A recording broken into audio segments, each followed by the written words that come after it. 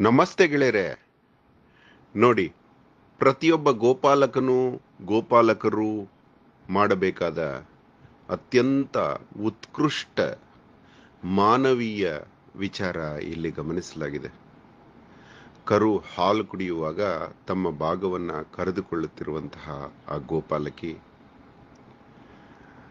ಕರುವಿಗೂ ಹಸುವಿಗೂ ನಡುವೆ ಕರುವಿನ ಹಸಿವು ಇರುವುದನ್ನ ಸಂವೇದನೆಯಿಂದ ನೋಡುವ ಗೋಪಾಲಕ. ಆದರೂ ತೃಪ್ತಿ ಕಾಣದಿದ್ದಾಗ ಬೇರೆ ಹಸುವಿನ ಹಾಲು ಕರೆದು ಕುಡಿಸುತ್ತಿರುವಂತಹ ಗೋಬಾಲಕ. ಅಯ್ಯೋ, ಇದಕ್ಕಿಂತ ಭೂಸ್ವರ್ಗ ಇನ್ನೇನಿದೆ? ಧನ್ಯವಾದ, ಅಹೋರಾತ್ರ.